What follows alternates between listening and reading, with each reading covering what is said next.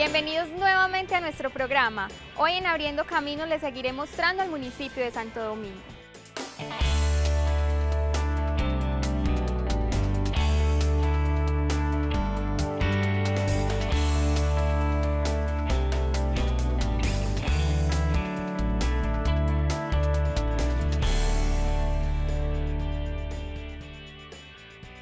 Coordinador de cultura del municipio nos acompañó a conocer los lugares más importantes de la localidad.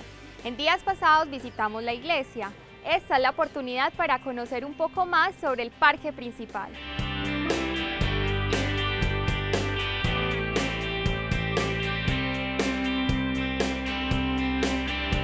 El día de hoy les quiero hablar de la plaza de nuestro municipio de Santo Domingo, Antioquia, la cual fue escenario de muchas cosas importantes, entre ellas eventos.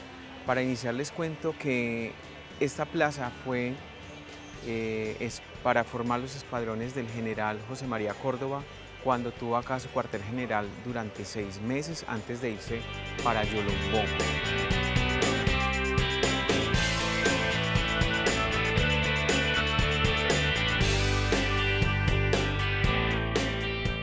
Este parque o plaza aún conserva su arquitectura colonial, casas de dos pisos con tallas en madera, balcones y es aún muy importante la cantidad eh, que poseemos en nuestro municipio en general, más o menos un 80% de nuestra arquitectura colonial.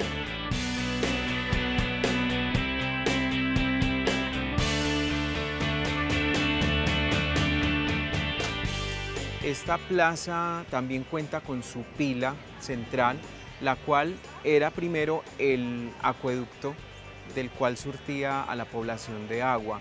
Luego, a través de un concurso que se realizó por uno de nuestros escritores, Pacho Rendón, fue traído un modelo de Europa, el cual consta de una peña emanando agua, cuatro perros de la raza Terranova, la raza que usaban los nobles para la cacería, y sobre todo porque el perro es muy noble y eso también tiene que ver con toda la gente dominicana, con su nobleza, con su raza, con su empuje.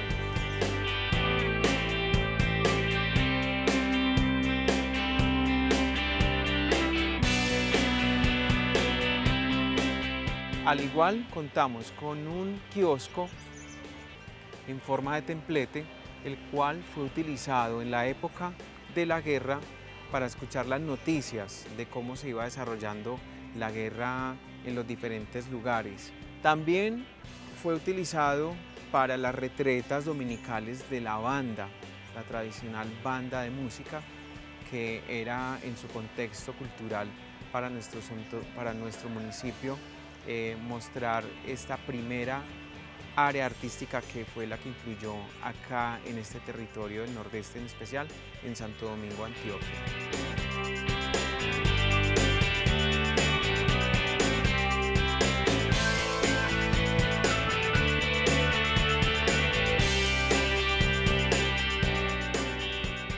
Es muy particular encontrar en un parque, en una plaza tan colonial, una cancha pero esto se lo debemos a la década de los 80 cuando se venían implementando un poco más el, el modernismo en estos pueblos.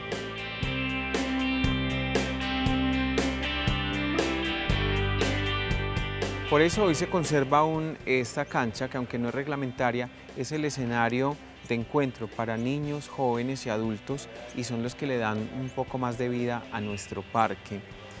También por ello encontramos contigo el monumento al deportista que consiste en una piedra. Tenía las astas para las banderas y sobre la piedra estaba el pebetero de la llama olímpica.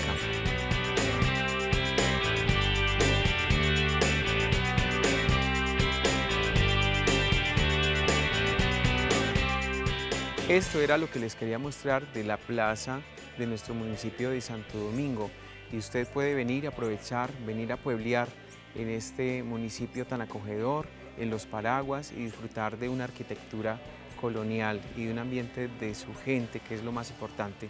En próximos días les estaré mostrando más potencialidades de nuestro turismo dominicano. Y hoy en el programa les queremos mostrar la labor de un grupo de personas que cumplen un papel fundamental en la construcción de obras como lo son las autopistas para la prosperidad. Ellos son la Comisión de Topografía de BIS.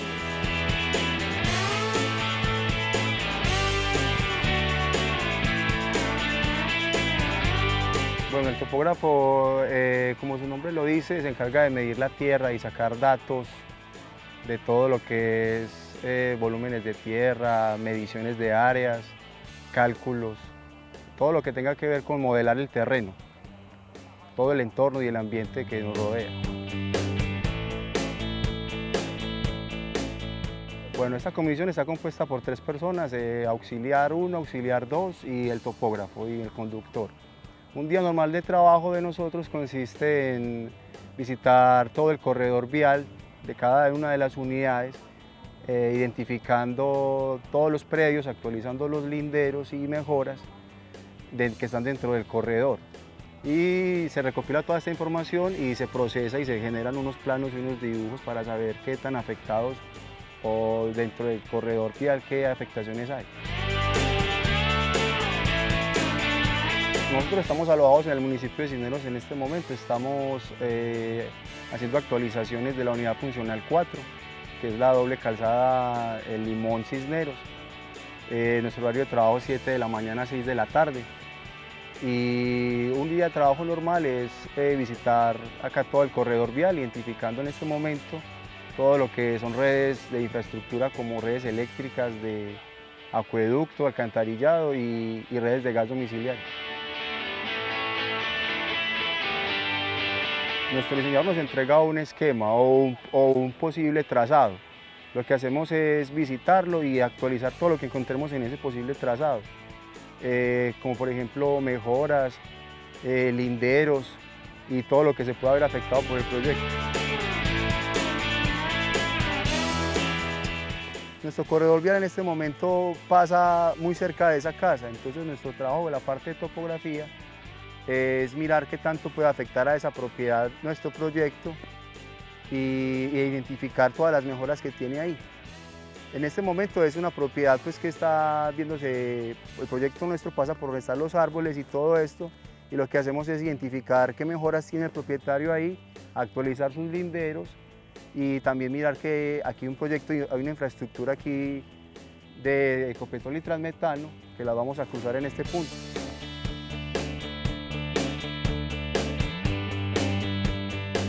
La parte de la gestión predial se encarga de actualizar todos los predios que están dentro del corredor. El diseñador nos entrega un trazado, nosotros lo, plasmamos aquí en campo, miramos qué afectaciones hay, tomamos todos los puntos que se puedan ver afectados, los procesamos, lo dibujamos y lo convertimos en un plano.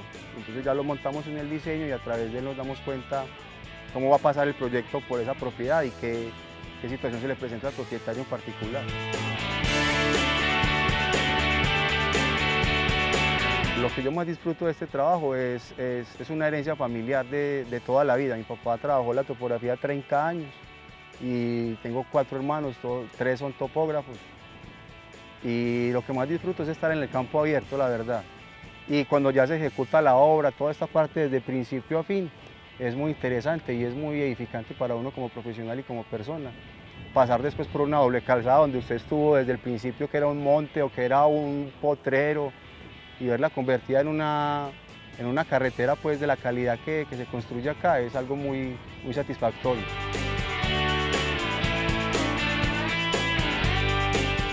Bueno, dentro de la comisión son tres personas. El auxiliar número, el auxiliar uno es el operador del equipo de topografía y es el que ayuda pues con la parte de la, de la recopilación de la información. El auxiliar número dos es el, ya la parte principal, diría yo, porque es el que hace realmente el trabajo más difícil, que es llegar a los puntos que necesitamos recolectar. Es el que tiene que, por decir algo, ir adelante siempre, puntear siempre el corte. Y el topógrafo que soy yo, que soy la parte pues, que maneja la logística y los puntos que se deben tener en cuenta para hacer los levantamientos.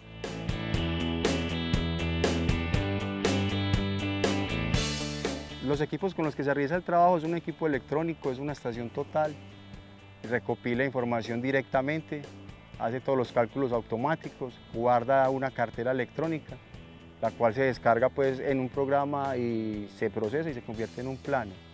Lo que hace el cadenero primero auxiliar es la parte del manejo del equipo, la orientación del equipo. Nosotros trabajamos con unas coordenadas que están, se manejan a nivel nacional, que están amarrados a la red geodésica nacional y todos los planos que nosotros realizamos acá quedan con ese amarre, entonces es un trabajo muy competente, muy técnico y, bastante preciso. Desde la Comisión de Topografía de Vinos también estamos abriendo camino.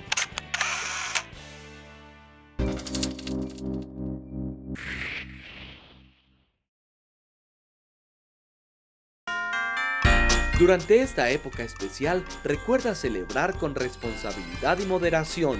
En Venus estamos trabajando para que viajes mejor hacia el nordeste antioqueño. Te invitamos a visitar los municipios del área de influencia que próximamente estarán más cerca de ti. Desde la concesión Vías del NUS te deseamos una feliz Navidad y un próspero 2017.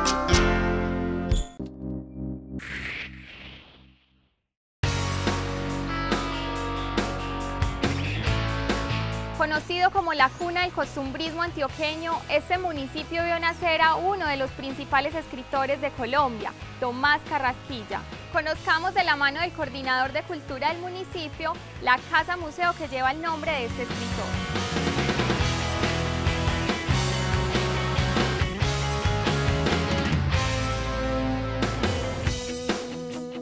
Nuestro municipio de Santo Domingo, Antioquia, posee cinco monumentos nacionales. Entre los más importantes, este, la Casa Museo Tomás Carrasquilla, gracias a nuestro escritor costumbrista, a quien le debemos nuestro apelativo, quien plasmó a través de sus letras todas las costumbres antioqueñas, en especial de nuestro municipio. Los invito para que pasemos y conozcan acerca de este hermoso monumento.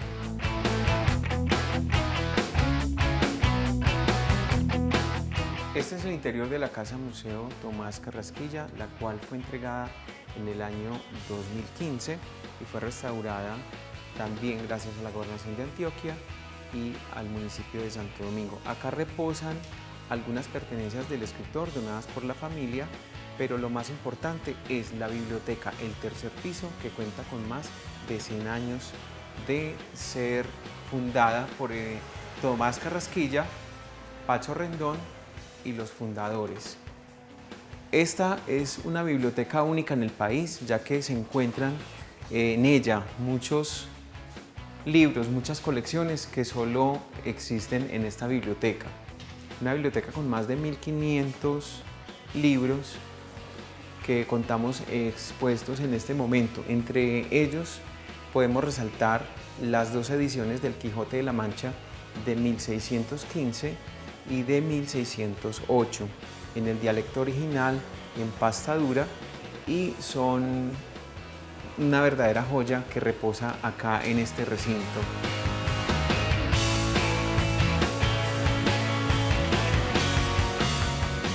Esta es la lápida en piedra de la mamá de don Tomás Carrasquilla, doña Esilda Naranjo de Carrasquilla. ¿sí? Ella está en este momento enterrada en el cementerio de nuestro municipio, en un osario dedicado a ella. Ahí podemos observar que es elaborada a mano. Ella murió en 1885.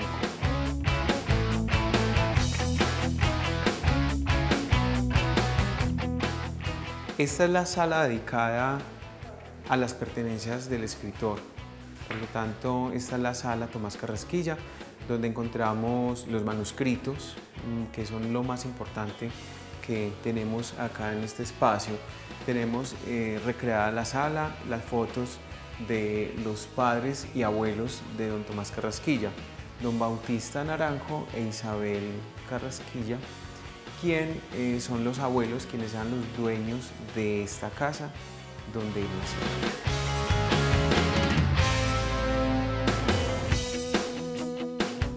Acá en esta vitrina encontramos exhibidos los manuscritos La Marquesa de Yolombo y Frutos de mi Tierra y algunas cartas personales eh, que fueron dedicadas o enviadas a la mamá en su época.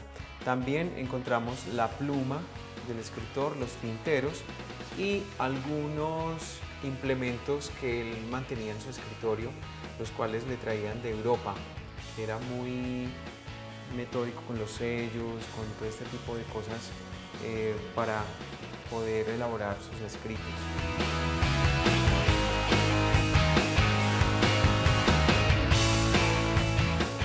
Esta es la habitación donde nació nuestro escritor Tomás Carrasquilla. Eh, acá fue donde doña Isilda Naranjo de Carrasquilla dio a luz al escritor que es nuestro referente mundial. Está su cama en cedro, eh, sus tendidos, todo intacto. Y acá, en este chifonier, contamos con la batola que usaba el escritor para todas las mañanas sentarse a tomarse su tintico, su aguardientico y con el cual también dictaba algunas de las obras más importantes que fueron editadas y dictadas por él en la última época.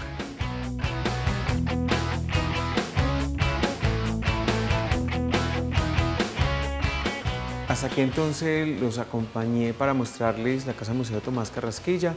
Gracias por estar con nosotros y en otras oportunidades eh, espero que estén ahí para mostrarles otras potencialidades turísticas de Santo Domingo, Antioquia.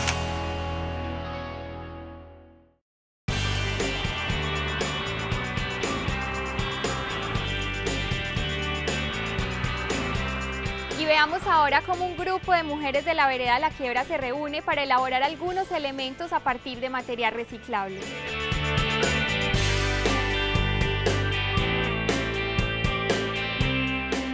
Nos encontramos esta tarde en la vereda La Quiebra, con un grupo muy especial de amas de casa, a las cuales les llamamos unidades productivas.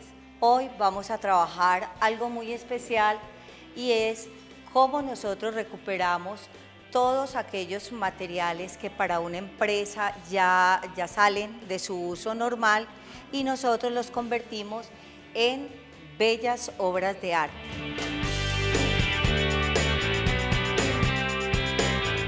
Aquí como podemos observar tenemos una mesa o una carreta donde se llevan los cables de energía ¿sí? para electrificar las comunidades. ¿Qué queremos hacer con esto?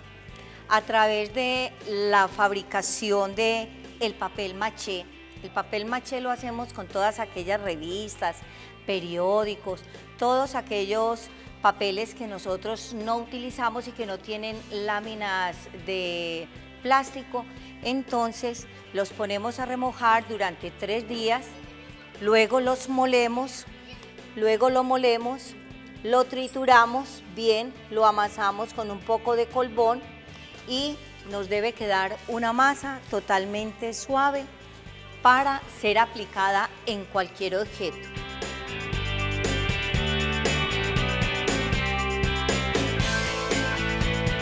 La pulimos con una espátula, con una cuchara, con los dedos. Lo importante es que nos quede totalmente plano. Entonces, con esto, ¿qué pretendemos nosotros? Que las comunidades aprendan a reciclar.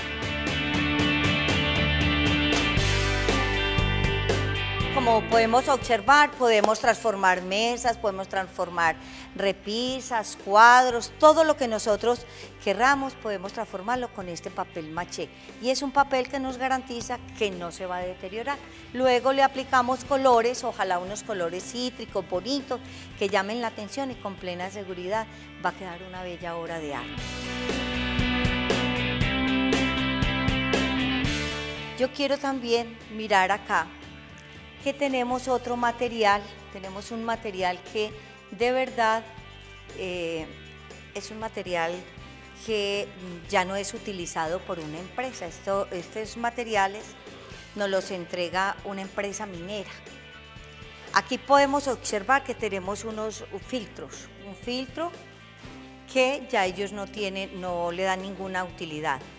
Y tenemos unos cascos de protección que ya para ellos tampoco tienen utilidad porque ya su vida útil ha terminado. Vamos a ubicar un casco para hacer un bello adorno navideño.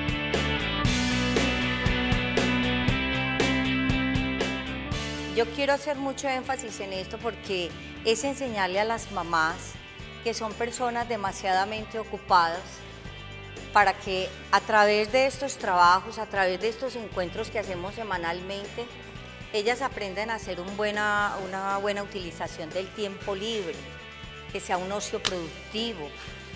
Con esto ellas hacen sus trabajos y los pueden vender a las empresas, a los turistas.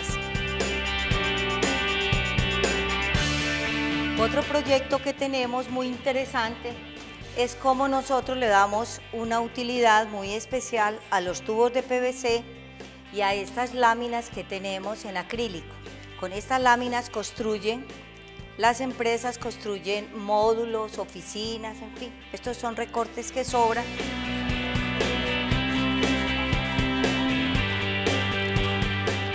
¿Qué hacemos con esto? darle valor agregado a las cosas, utilizar el tiempo libre, sentirnos útiles, salir de la rutina del hogar, que a veces pensamos que solo lo que nosotros podemos hacer es atender los quehaceres de un hogar. Y miren todas las cosas útiles, hermosas que podemos hacer y que están al alcance de, nuestro, de nuestras capacidades económicas.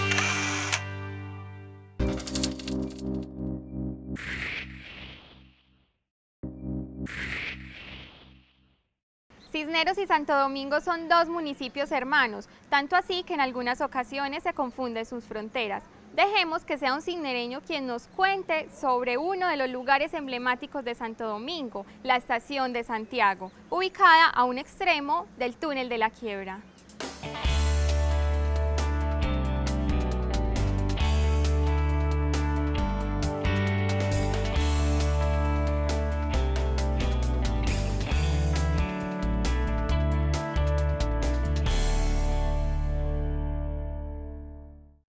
Bien, entonces vamos a la estación Santiago que está acá cerca y unos charcos muy chéveres que están bajo el, bajo el puente que también está cerca de la estación.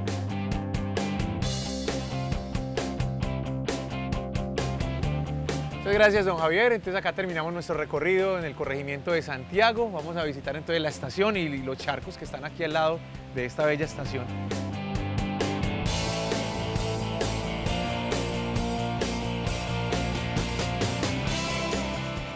Bueno, estos charcos son charcos de, Santiago, están acá en toda la zona urbana de este corregimiento. Eh, unos charcos atractivos donde los visitantes pueden venir a, balnear, a hacer su sancocho, a disfrutar y a refrescarse en estas aguas cristalinas y muy limpias y sobre todo en este clima tan maravilloso que tiene esta zona.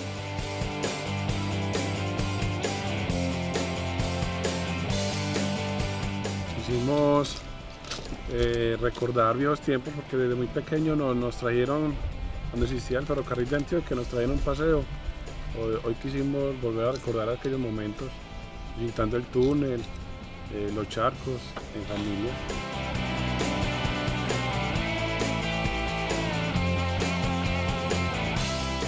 La doble calzada va, a contribuir mucho en el desarrollo de la región y, acompañada con, la recuperación del sistema férreo del tren, eh, también va a mejorar mucho la, calidad de vida de esta región. Acá terminamos entonces nuestro recorrido. Eh, estaremos contándoles de otras rutas que tenemos en Cisneros, como la ruta de los dulces y los trapiches, la ruta de los balnearios y charcos, eh, la ruta del tren cargado de tradición y también eh, la ruta de aventura que tenemos en el municipio. Más adelante, pues en otros programas creo que les estaremos contando toda esa riqueza natural, paisajística y arqueológica que tiene nuestro municipio. Y así llegamos al final de nuestro programa. Les recuerdo que si quieren conocer más sobre las vías del NUS, pueden visitar la página web www.vinus.com.co o escribirnos al correo electrónico info.vinus.com.co. Nos vemos en dos semanas para que juntos sigamos abriendo caminos.